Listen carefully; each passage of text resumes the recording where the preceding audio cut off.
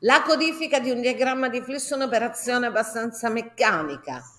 Eh, si parte scrivendo public class, il nome della classe, si mette il metodo main, poi siccome qui abbiamo una interazione con l'utente, eh, dobbiamo aprire il flusso di input creando una istanza della classe scanner, poi l'istanza si chiama console. Poi abbiamo visto nei primi esercizi che le variabili eh, venivano dichiarate tutte all'inizio, ma ieri sera vi ho detto non è necessario, l'importante è che le dichiariate, cioè che scriviate il loro tipo e il nome prima dell'uso. Ma abbiamo anche visto ieri sera che non sempre questo è possibile. Quindi qua abbiamo la dichiarazione della variabile sconto di tipo double. Il problema è quello di calcolare il prezzo di un biglietto scontato sulla base di una categoria di utenti, pensionati, studenti o disoccupati. Il primo blocco è quello che chiede di inserire il costo del biglietto, il secondo blocco va a leggere il costo inserito dall'utente e lo mette nella variabile costo. Quindi la prima istruzione system.auto.println è tra virgolette la frase che vogliamo che compaia sul monitor. La seconda istruzione è quella appunto di lettura del dato di input. Attenzione perché essendo un double lo leggo con il metodo nextDouble. Se lo leggessi con il metodo nextInt non sarebbe un errore in questo caso, perché un intero può stare dentro un double, quindi non mi segnalerebbe alcun errore, ma poi sarebbe errato perché se il prezzo, siccome è un, un, importo in euro, quindi una valuta, ha dei decimali, io così li tolgo e faccio cifra tonda, però non è corretto. Blocco 3 è un primo if, cioè notate, se guardate il diagramma nella sua interezza, ci sono due rami, il ramo vero che ha un sacco di roba sopra, il ramo fa- falso che invece ha un'unica istruzione, quella del blocco 16. Quindi io cosa ho fatto? Ho scritto la prima istruzione if, blocco 3, if, e tra parentesi tondo la condizione, costo maggiore di 0. Poi, vi ricordate, qua avevo messo i puntini di sospensione, quindi avevo chiuso tutto questo, avevo messo puntini, ho detto poi ce ne occupiamo, perché c'è troppa roba. Andiamo subito a chiudere il ramo vero, si chiude qui, e scriviamo subito invece la parte false che è breve, si termina eh, velocemente. Quindi la parte false comincia con questo else, di nuovo c'è il blocco di parentesi graph e poi la traduzione del blocco 16 che è di nuovo una system.out.println costo errato. Quindi se il costo non è maggiore di 0 non mi fa neanche andare avanti, mi dice subito che sto sbagliando. Eh, e poi vabbè alla fine c'è la chiusura del flusso di input. Adesso andiamo a vedere invece cosa bisogna fare, cosa bisogna scrivere, non avevo completato questo lavoro, eh, dentro alla parte vera dell'if più esterno. Nella parte vera dell'if più esterno c'è questo messaggio che eh, ho tradotto così, inserisci PIS pensionato, disse disoccupato, SS studente, è un'istruzione di output. Il blocco 5 di nuovo input, quindi non sto di nuovo a ripetere, leggiamo eh, la stringa, in questo caso quindi ecco quando l'utente inserisce un dato è sempre stringa, basta usare il metodo next, non deve fare nessuna conversione di tipo.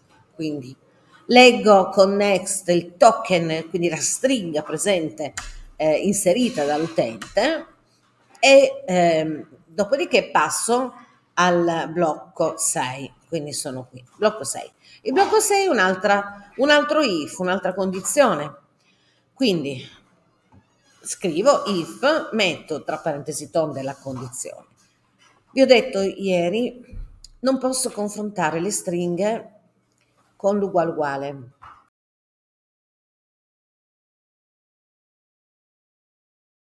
Allora, sul discorso inizializzazione, molti dicono che le variabili andrebbero sempre inizializzate quando vengono dichiarate, quindi bisognerebbe dar loro un valore iniziale.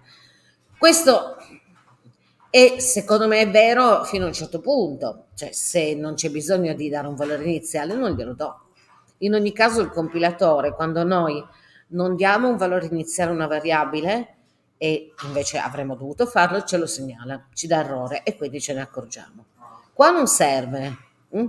non serve perché eh, alla fine hm, andiamo ad assegnare un valore a sconto in ogni situazione e quindi non incorriamo in alcun errore.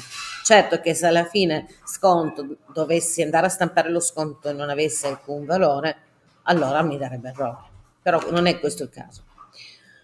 Quindi, se eh, dicevo le, le, le, stringhe non si possono confrontare con uguale uguale, si confrontano utilizzando un metodo della classe string e si scrive prima stringa, che per noi è condizione, punto equals e tra parentesi tonde la seconda stringa, che in questo caso è una stringa, è un literal tipo stringa, quindi una stringa costante, P.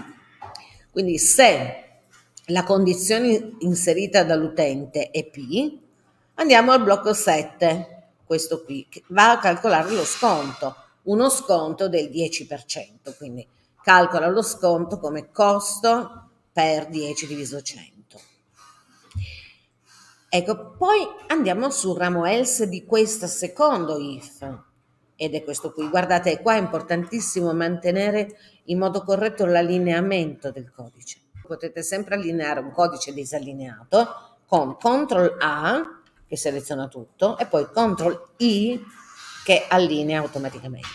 Mi chiedo, la condizione è uguale a S? Quindi se non è P, vediamo se è uguale a S. If condizione punto equals S se è vero, ah, vado a calcolare lo sconto del 15% e sono qui al blocco 9. Poi uscendo, il blocco 9 termina, il, il ramo vero di questa condizione 8 termina, vado sul ramo falso, quindi mi sposto sul blocco 10, dove eh, sempre qua sono ancora sul ramo falso della condizione uguale S. Quindi sono sempre qui. Quindi else. Apro la graffa, invio, si chiuda, così non sbaglio. Dentro ci vado a mettere quello che c'è sul ramo falso. E sul ramo falso c'è un altro if. Quindi if, aperta tonda, metto anche il numero del blocco. Blocco numero 10 if condizione punto equals di allora apro di nuovo una graffa invio così si chiude e sul ramo vero di questa condizione 10 c'è il calcolo dello sconto del 25% quindi faccio copia e incolla collo. Sì. Questo è il blocco 11.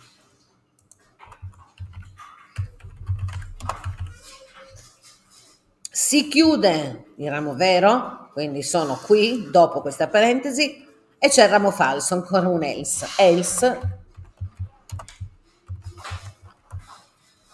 sconto uguale a 0. Per un problema tecnico la registrazione è saltata, quindi riprendo da qui. Eh, eravamo arrivati al blocco numero 11, quindi con lo sconto del 25%. A questo punto si chiude il ramo false mm, anche della condizione uguale a D. Si chiude tutto il ramo false anche a partire dalla condizione uguale a P e possiamo proseguire con i blocchi 13, 14, 15.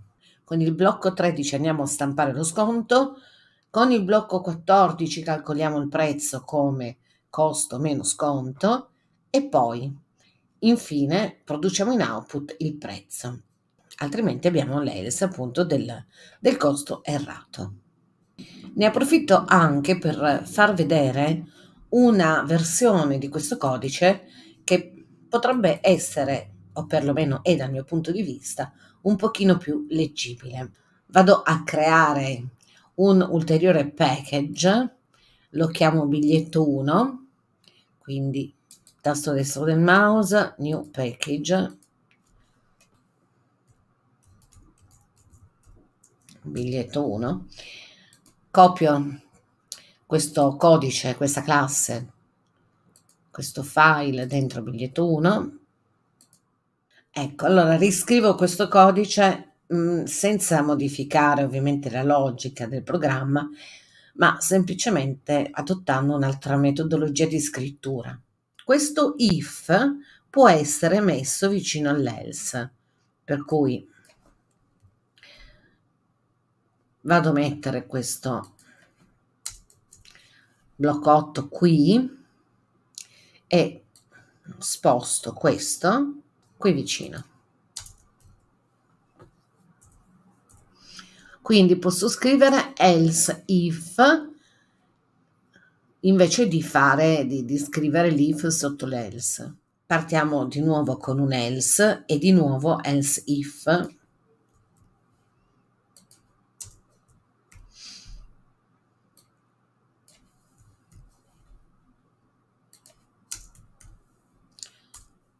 ho tolto un po' di parentesi graffe chiuse ed ecco voi, quindi lo stesso codice è scritto in una maniera dal mio punto di vista più, più leggibile. Eh, inoltre, un'altra osservazione può essere fatta relativamente a questa variabile sconto. Questa, questo blocco else può essere rimosso se vado ad assegnare alla variabile sconto il valore iniziale 0 perché? Perché quando arrivo qui a questo punto, e tolgo via l'else, quando arrivo a questo punto, se nessuna delle condizioni precedenti è vera, lo sconto comunque vale 0 e quindi non c'è bisogno di, di assegnarlo. Facciamo una prova, inseriamo 100, P, ed è corretto. Facciamo ancora un'altra prova, inseriamo un costo del biglietto sempre 100 e una lettera che non c'entra nulla, la lo sconto è 0 e l'ultimo test che facciamo è con un, biglie, un costo del biglietto eh, negativo o nullo, 0, costo errato.